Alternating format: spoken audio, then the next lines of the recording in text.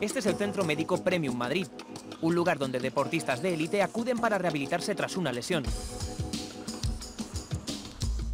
Goran Maric ha jugado más de 10 años en España y tras romperse el ligamento cruzado de la rodilla con su equipo en la Liga Húngara, está en Madrid para recuperarse.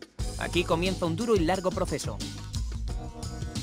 Sentí mucho dolor y sentí literalmente como si me rompía la rodilla, no sabía qué era aún, pero bueno, es, es muy duro, un golpe muy duro, sobre todo los primeros 15, 20 días, hasta que no te un poco la idea de a qué te enfrentas, lo que vas a pasar en los siguientes 6, 7 meses.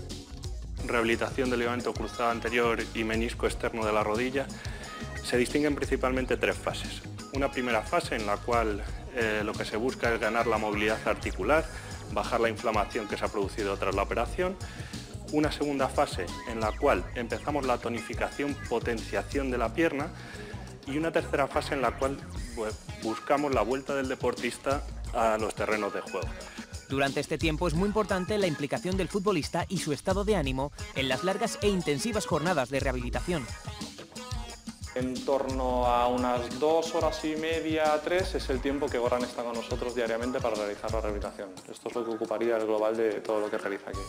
Armarse de paciencia, saber que es muy largo, hay días peores, hay días mejores, hay que tirar para adelante con, con mucha confianza, con una actitud positiva, teniendo en cuenta que sin esa actitud, sin ese trabajo, sin esa ilusión de volver a jugar, no, es muy difícil superar una cosa de esta. ¿no?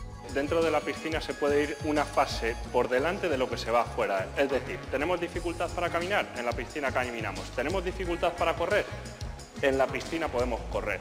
Eso que supone que el jugador cuando sale a correr a la calle sale con mucha más confianza.